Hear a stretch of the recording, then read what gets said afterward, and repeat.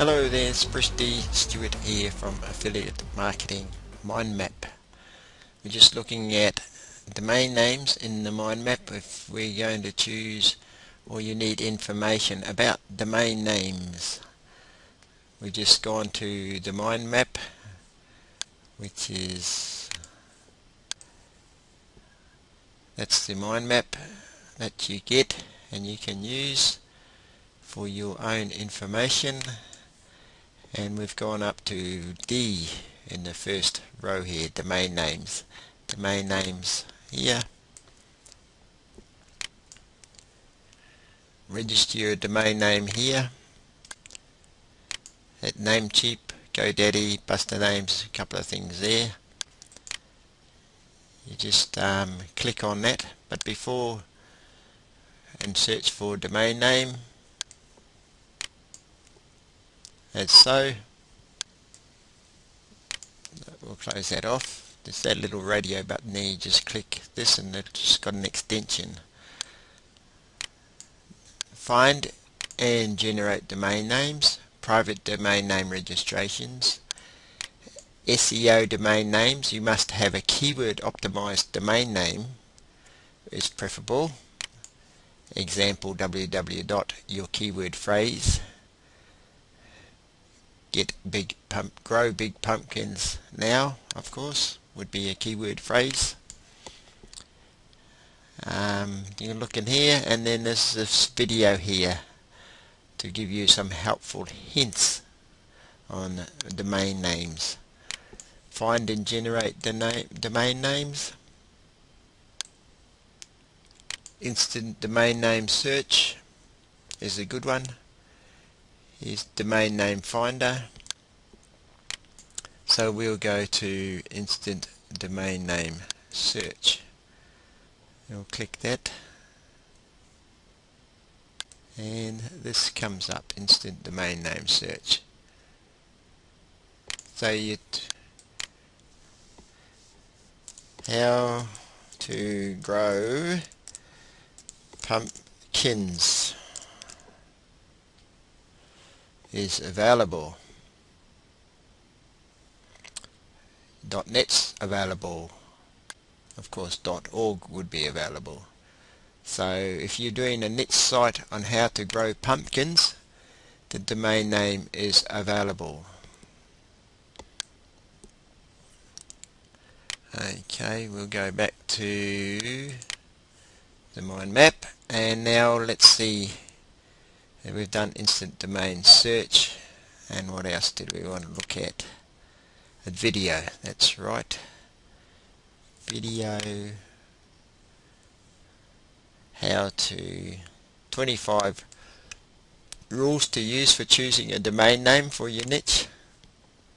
Press the button I suppose. Wait till it loads. It's loading sometime.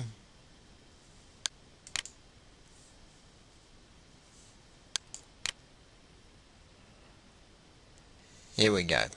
It's working now. And um, I don't know if you can hear that, but I'll turn it up.